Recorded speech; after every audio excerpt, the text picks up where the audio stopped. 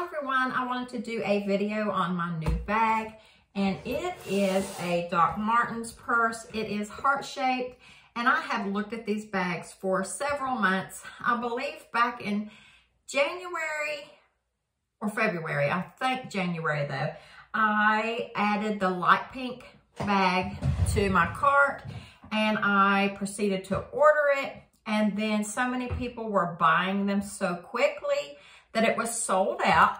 So they sent me a coupon and then I found this pink one. This is Thrift Pink. I believe that's what they call it. And all of these months later, here it is August, which I ordered it in July.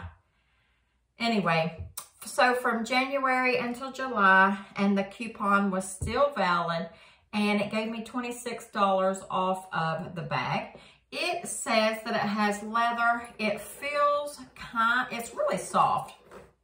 Almost has like a rubber feel to it, but it is so super cute. It is a, a really good size. It has this pocket on the front and it has a push lock um, closure and I've always liked those. This is how it looks and it slips down into this little metal thing if you didn't know what push lock was. And then it has this little pocket. I can fit my mirror in there and little things like that. I'm not going to say anything too thick will go in there. I do have a pack of gum. Of course, my gum fits in there. So that might be the pocket that I keep my chewing gum in because it's perfect. There's two in there. Um, so that fits in there. And then on the inside, it has the strap. You can use it as a crossbody because of the D-rings here, or you can loop it through here, hook it to these two, and you have a backpack, but I do not plan on using it as a backpack. It has this little section here. You could put a little card in there if you want that has some little um, uplifting quotes on it. This is my full-size wallet. I would not use that wallet in here, but it does go. There's plenty of room for more things. But of course, where it's heart-shaped, you're going to have some openness down here. So little things will go down in that. Say if you put your keys in there, I'm sure it would fall into the point of this bag.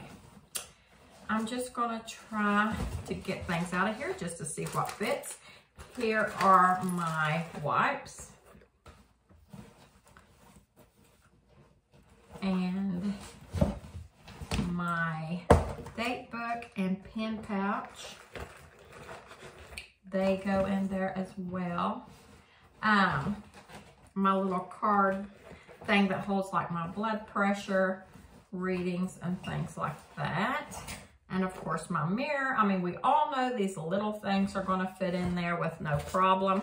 This is a little bit thicker. I have Tylenol and things like that in there. So even it fits. This is gonna hold more than you think. But like I say, it's gonna stop middle ways. And then if you have your keys or anything, they're gonna fall into there. So I would not carry all of this in there. I would use smaller pouches, a smaller wallet, just so maybe I could get them in there better and more things would go down into here. But this is how it looks with all the stuff that is in it. It holds its shape really nice. This is the back of it. Nothing's really sticking out or making the shape off. So if you like these bags and you think they're cute, seems to be really good quality. The stitching is excellent. There is nothing out of place on this bag. You can see it on the back. I really like this heart shape. Some bags, when they're heart shaped, are more rounded off at the bottom and they don't have this true shape. Hearts have always been my favorite shape. Um, I don't have it on, but my engagement ring was a heart. So I've always loved hearts. So this is it. I want to show you. I want to show what would fit in. There's not too many videos on these bags.